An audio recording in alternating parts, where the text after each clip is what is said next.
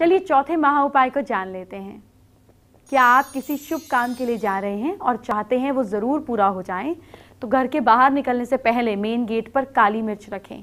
उसी काली मिर्च पर पैर रखकर घर से बाहर अपने कदम बढ़ाएँ।